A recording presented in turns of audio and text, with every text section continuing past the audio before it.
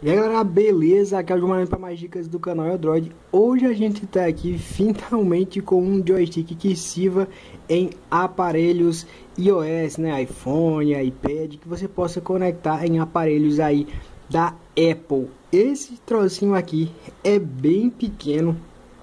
Olha o tamanho desse trocinho aqui. Olha, o iPhone 5S ele já é bem pequeno. Mas olha o tamanhozinho desse troço. Esse aqui é um joystick, Bluetooth, controle, gamepad, como você queira chamar. É um controlezinho Bluetooth que ele é exclusivo iOS. Só vai pegar em aparelhos da Apple. Olha como o bicho é bem bonito. Ele tem essa tampazinha aqui, ó, que você pode colocar. Na verdade, você deve colocar para melhorar a pegada nele. Como ele é bem pequeno, né? Você precisa fazer algumas manobras dependendo do jogo para estar tá jogando mais confortavelmente. Ó. Mas você coloca ó, essa tampazinha aqui, ó, e dá tudo perfeito para estar tá jogando. Esse aqui é seu layout, né? Ó, com dois analógicos aqui. Não tem o L3 e o R3, mas ele tem esses botões aqui, ó o L1, R1, L2 e L2, eu confesso que a posição é meio estranha de você estar tá apertando, principalmente os R2.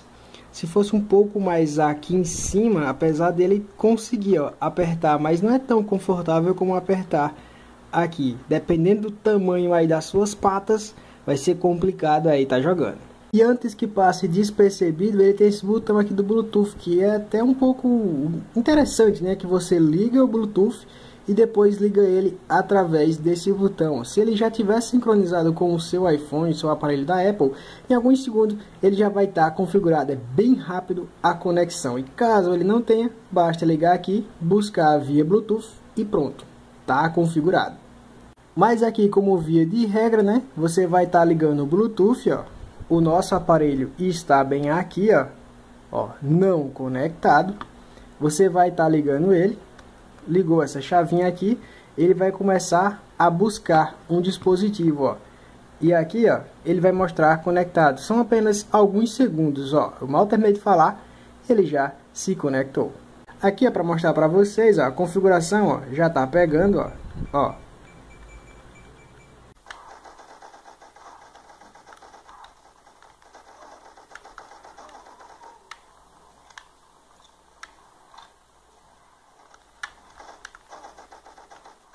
Um dos problemas, eu não digo problemas, né, mas uma coisa que falta muito nele é a questão de você apoiar o seu telefone ou o seu dispositivo em algum lugar para estar tá jogando, né? Você apoiar ele assim para estar tá jogando, porque muitos desses controles que a gente já viu aqui no canal tem aquele suporte. E falando em suporte e conexão, nós temos essas duas dicas aqui de joysticks que anteriormente tinham suporte ao iPhone, ao iOS, mas com as constantes atualizações, né, equipamentos que não são licenciados pela empresa perdem o suporte. Fica até uma jogatina bem interessante, né, tá jogando.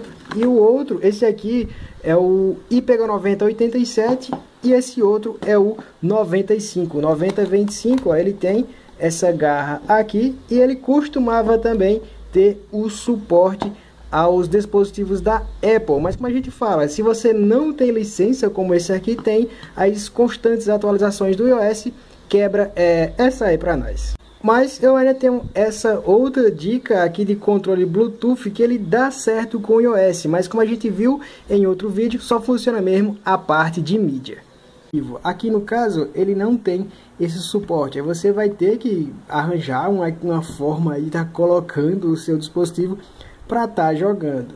A marca desse controle é a Steel Series e eles também trabalham com outros modelos de controle, inclusive também pegadores de, de telefone e também aqueles que já vêm com umas garras, tanto por fora também como você pode comprar já acoplado no seu dispositivo. Controles bem maiores do que esse, mais confortável e com mais recursos. Você já percebeu, ele foi feito para ser um equipamento portátil, onde você possa usar numa bolsa, numa mochila, no seu próprio bolso, né? Ele tem essa tampinha aqui, que serve tanto como proteção como um suporte para melhorar a pegada, ó, colocou a tampinha jogou dentro do bolso da mochila, pronto, já está perfeito para viagem. Mas se você quiser adaptar alguma coisa para virar um suporte para o seu dispositivo, a gente tem algumas dicas aqui no canal. E nós temos a dica desse suporte aqui, ó, feito de papelão e zinco. A gente tem uma pintada aí de spray, ó, ficou bem bacana, fica bem apoiado, ó, o seu dispositivo, bem tranquilão e tá aproveitando. Ou você pode pegar um clipe de papel, ó, e tá fazendo isso que eu fiz. Olha a força que eu coloquei e o telefone não caiu, cara, só com um clipe de papel. Os dois equipamentos são bem simples de estar tá fazendo. Qualquer coisa eu vou estar tá deixando links aí na descrição. E aqui como teste temos alguns jogos, mas vamos estar tá testando aqui ó, o Sonic, né? Um jogo aí bem famoso da SEGA, o jogo mais famoso da SEGA, o mascote da empresa, esse nome aí ninguém esquece né? vinheta aí. A gente vai estar tá jogando aqui numa gameplay bem bacana. O jogo se conecta automaticamente ao seu dispositivo e basta você colocar no jogo se ele já tiver o suporte e você já vai começar a jogar. E aqui ó, a gente tá jogando, ó o Sonic ali se mexendo ó. Basicamente ele anda, ele pula, ele se abaixa. E aí vai, né? Ele dá os seus pulos aqui.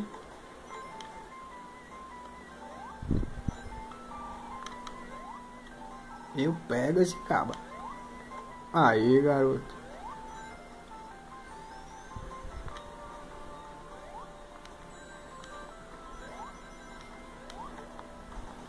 Achei alguma coisa aqui.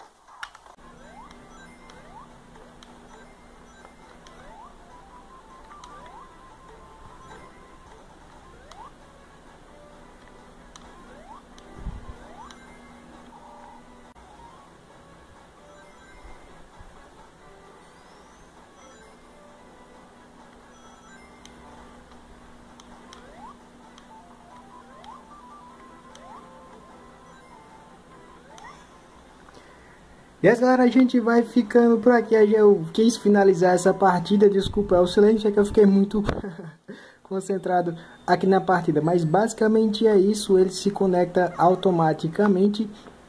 Um jogo ou outro você vai ter que estar tá, é, configurando aí o controle. Tem tem jogos onde o controle é permitido a configuração. Esse aqui ele já se configurou automaticamente você pode aproveitar aí outros jogos também. Vamos tentar trazer aí uma lista ou deixar uma lista aí para você estar tá aproveitando melhor esse controle aqui. A gente vai ficando por aqui.